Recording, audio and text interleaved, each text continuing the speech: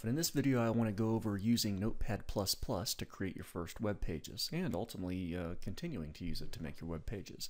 So I just did a Google search for Notepad++, and it's really easy to find, and I'll head right over to their website, specifically to their download page.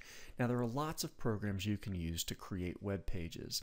Um, there's free ones and there's paid ones, and paid programs um, can certainly be popular and they often have a lot of features that you might find very useful.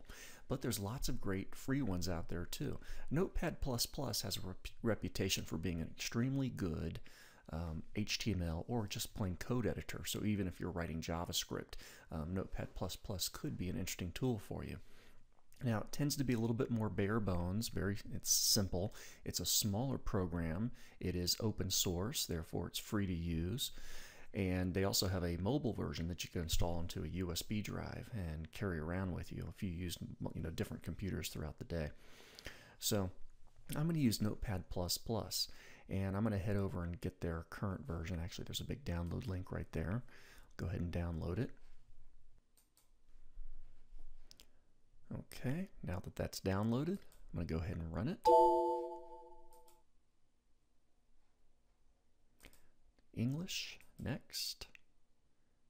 I agree. Next. I'll stick with all the defaults. And sure, I'll create a shortcut on the desktop. And I'll go ahead and run. Here we go. So this is Notepad++. Now it can be easy to get a little bit intimidated by a plain text editor because they're, they're um, they're a little bit unusual compared to the programs you typically use, especially if you're typically sticking with web browsers and, uh, and email and things like that.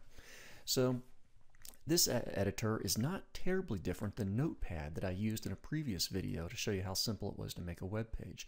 So Notepad is a plain text editor and Notepad++ is a plain text editor. However, with regular Notepad, you don't get some of the features that are convenient to a code editor.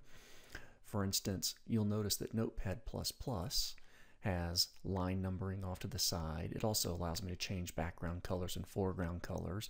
It's going to have a couple of extra features up here that are going to make our life easier. And it's got a multi-tab interface that's going to allow us to work with multiple pages a little bit more easily at the same time. So a couple of the features of Notepad++. Now, what I want to do here is I'm going to go ahead and create a brand new file. So this is a new file and I can press Control plus in order to zoom in to make that text nice and big. And I want to get started on making my page. Now, before we do anything too fancy, I want to go ahead and type something similar to what we had in that notepad file from the other day. So let me just go ahead and uh, type up a few basic HTML line. There we go. So I've simply typed up some text. It's very similar to what I typed up in a regular notepad in a previous video. Now, the next step here, now that I've got some HTML typed up, I'm going to go ahead and save this. I'll do a file, save as, and I will save this to my desktop again. I'm going to go ahead and create a quick new folder here, and I'll web page files. And when I save this file name, this part's pretty important here. I'm going to go ahead and call it uh, practice.html. When you name your files for a web page, you want to use all lowercase and no spaces and end them with a .html extension. You literally type the .html file extension. So this file is going to be called practice.html. I'm going to save it and watch what happens to my code as soon as I save. There we go. It gets a little color coding. So that's one of the nice features of Notepad++ and many other HTML or code editors.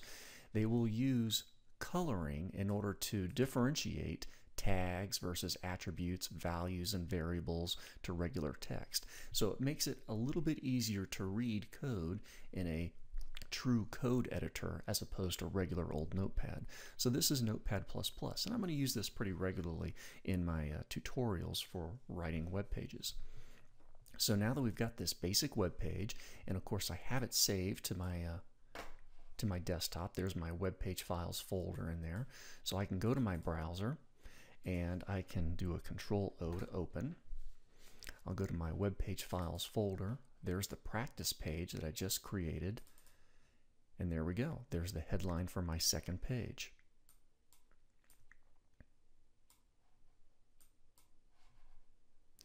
Back over to my Notepad++, and there it is. So the title for my web page, you'll notice I've got this set of title tags right here, my second web page. This shows up in the tab for the browser, my second web page. And if somebody were to bookmark the page, that's the text that would be used. So the title of the page is used as the window title or the tab title as it as it happens to be. Whereas lower on in the page, after the body, I've got this H1, which stands for headline 1 or heading 1.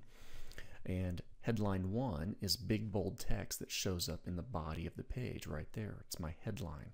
And then other things that I might do will work into the body. So let's go ahead and get started with really making a web page using the different parts of the, of the document, the head and the body, in various tags.